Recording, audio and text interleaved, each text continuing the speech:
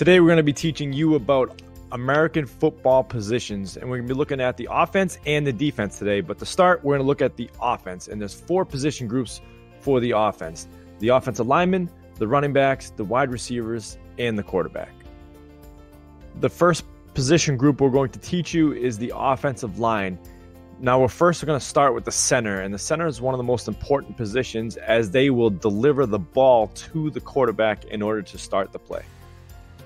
The next position on the offensive line is the offensive guards, and there's two of them, and their job is to protect the quarterback and also move defensive players out of the way so the running back can run. And in this picture here, 64 and 70 are represented as the offensive guards. The last two remaining players on the offensive line are what we call offensive tackles, and they're demonstrated here by the two outermost players. They are also responsible for protecting the quarterback in the pass as well as moving defenders for the run. That about wraps it up for the offensive linemen. If there is any questions, let us know in the comment section below and we can answer any questions about the offensive line. The next position in the position group is the running backs, which will be running the football after the ball is handed off from the quarterback.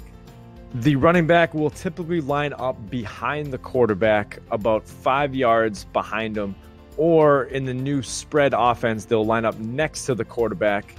Either way, they're in distance of the quarterback. That way, they can take a handoff and then run upfield successfully. Now that we've gone over offensive lineman and running back, let's transition to the wide receiver position. And this position will be catching the football and gaining positive yards after they catch it.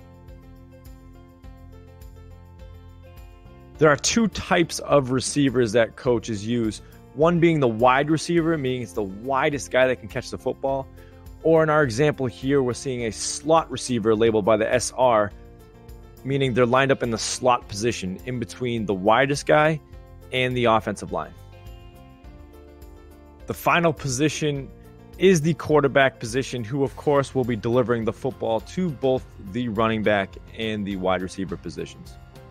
The quarterback is one of the most important positions on the field. They will take the snap from the center, either standing directly behind him, like we have in this picture here, or in a shotgun snap where he stands about four yards behind the center, getting the football, handing it to the running back, or throwing it to the wide receivers. That's all for the offensive positions. If there is any questions, please let us know in the comments below, and we're happy to answer those questions. Now, moving on to the defensive side of the football, there's three positions on the defensive side of the football. There's the defensive linemen, the linebackers, and the defensive backs. The first position group on defense is the defensive line, and this is the position that lines up closest to the football most likely with their hands on the ground, ready to attack the offensive line and try to get to the quarterback or the running back with the football. The defensive line is typically quicker and bigger players that can disrupt the offensive line. The next position is the linebacker position.